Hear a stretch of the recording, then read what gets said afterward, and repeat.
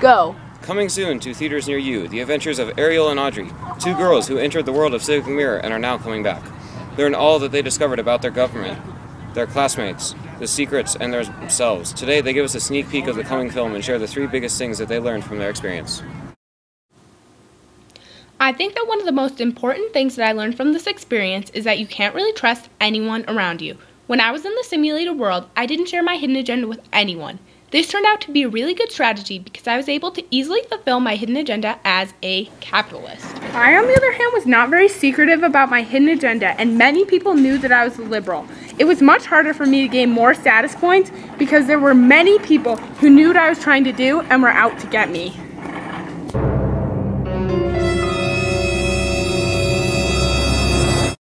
Welcome to the Ingrid von Kleidorf show.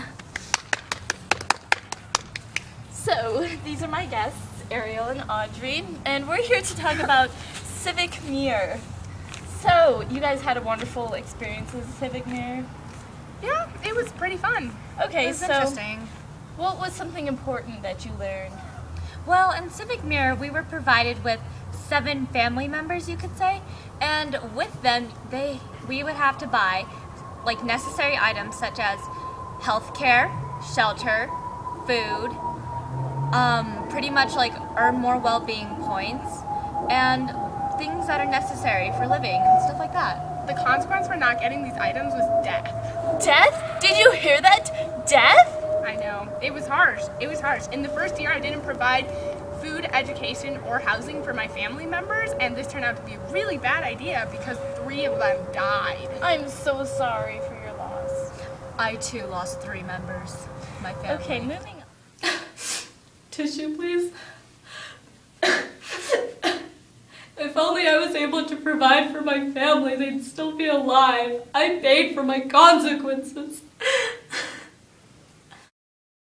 Ariel is a sensitive soul, and this tragic adventure has changed her.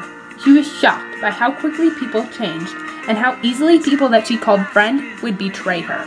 She went through a period in time in which she was very depressed because people weren't speaking their minds.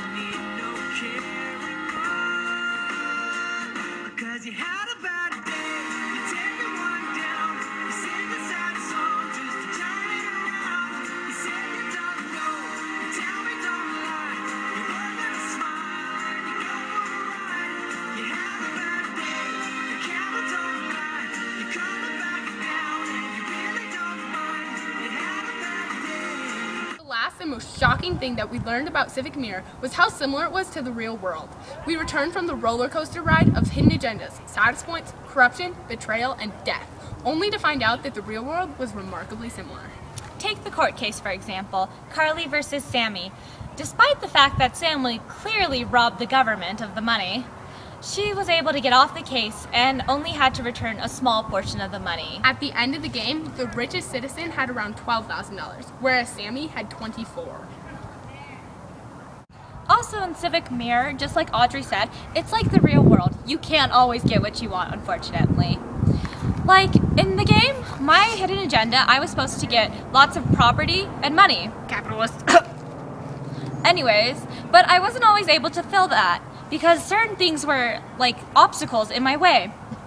However, soon we figured out the way that ra- things ran in the simulation. And we managed to make it out alive. Cut. Do you want to see more? See the fascinating details of exactly how our two heroines survived the world of Civic Mirror. What really happened in the Carly versus Sammy court case? How did the oligarchy come to power? Who betrayed who? What exactly happened to Audrey and Ariel? The Adventures of Audrey and Ariel, Coming to theaters near you June 11th.